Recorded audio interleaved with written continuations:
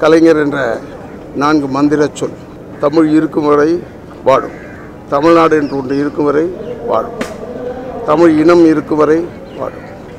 தமிழ் மக்கள் இருக்கும் வரை வாழும். உலகளாவிய அளவில் எந்த இடத்தில் தமிழர்கள் இருந்தாலும் கலைஞர் என்ற சொல்லை மறக்க மாட்டார்கள். இந்த தமிழ்நாட்டில் இருண்ட சூழ்நிலை கிடையாது. அத்தனை திராவிட முன்னேற்ற கழகத்தைச் சேர்ந்த அன்பு சகோதரர்களுக்கு ஒரு தலைவர் கலைஞரால் கைகாட்டப்பட்ட தளபதியார் வழியில் ஒற்றுமையாக நாம் நடந்து கலைஞர் அவருடைய கனவுகளை நினைவாக்க வேண்டும். எல்லாரும் கலைஞர் இறந்தையா இறந்துட்டாங்க இறந்துட்டாங்கன்னு சொல்கிறாங்க ஆனால் என்ன என்னை பொறுத்தளவுக்கு வரலாறுக்கு மரணமும் கிடையாது சாவும் கிடையாது. ஒரு முறை தலைவர் ஐயா அவர்கள் என் தாத்தாவோட சிலத்திறப்பு விழா கலந்துக்கும் போது அவர் வாயால் சொன்ன வார்த்தை என் காதால் கேட்டது உண்மை. முதல்வர் என்ற பட்டம் ஐந்து வருடத்துக்கு ஒரு முறை வரும் போகும். ஆனால் ராதாண்ணன் கொடுத்த கலைஞர் என்ற பட்டம் நான் இறந்த பெண்ணும் வரும் என்று சொன்னார். அவருடைய சடலத்தை பார்க்கும் பொழுது அந்த சொல் தான் எனக்கு ஞாபகம் வருகிறது.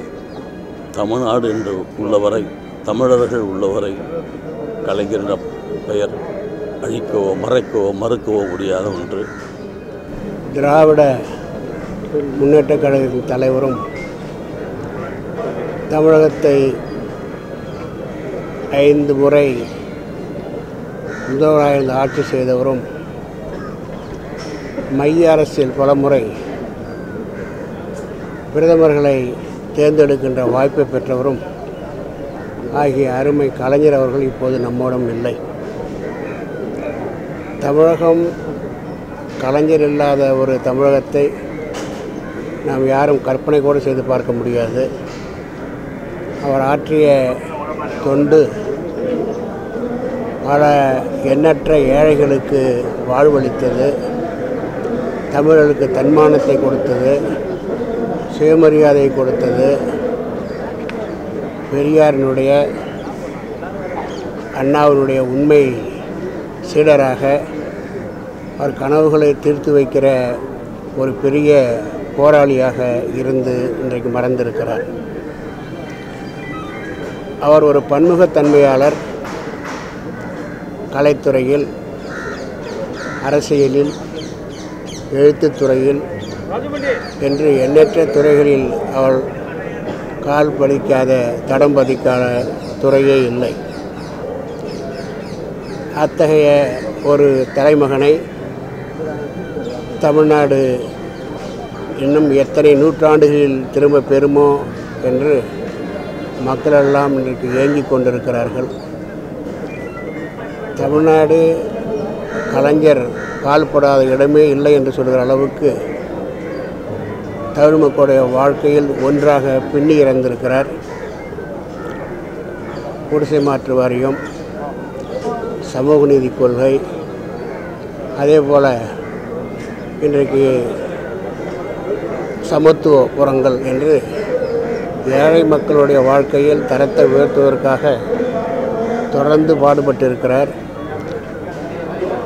எழுபத்தைந்து ஆண்டுகளுக்கு மேலாக அரசியலில் பங்கேற்று இன்றைக்கு தமிழ்நாட்டிற்கு மட்டுமல்ல இந்திய அளவிற்கு ஒரு வழிகாட்டியாக இருந்திருக்கிறார்.